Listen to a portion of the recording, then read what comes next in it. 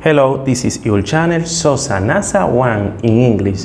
My name is Emmanuel and now I'm going to show you how to use this digital multimeter to measure how many volts has this power outlet. This is very easy. The first step is take the digital multimeter and move the selector.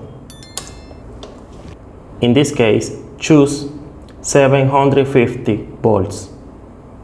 This is AC voltage, altered current voltage in this case. This is the higher number inside this mode. The reason that I choose this is because I don't know how many volts has the power outlet. Um, if you don't know how many volts has this, the better choice is choose the higher number inside the mode. In this case, altered current voltage. In this case, we have 200 volts and 750 volts. The higher number is 750 volts in this case. Now our digital multimeter is ready. Other is watch here. Negative on COM and positive here. Volts, electric resistance, and current. Now our digital multimeter is ready. Now take these two tips and introduce here inside the power outlet in this way.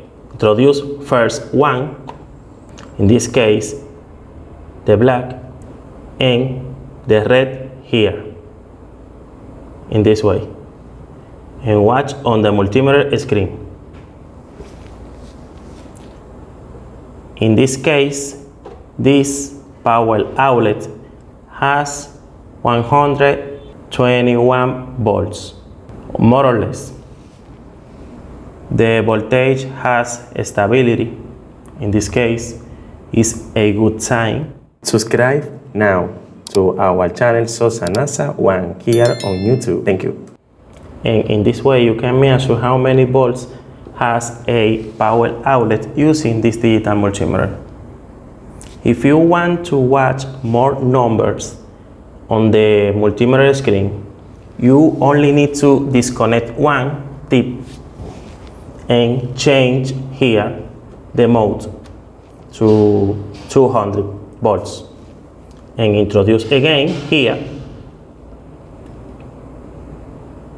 and watch on the multimeter screen. We have 120.5 volts, more or less, in this case. This power outlet is okay. And in this way, you can measure how many volts has a power outlet like this.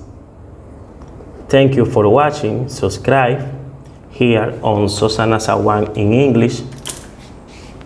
Give me a like. Share this video.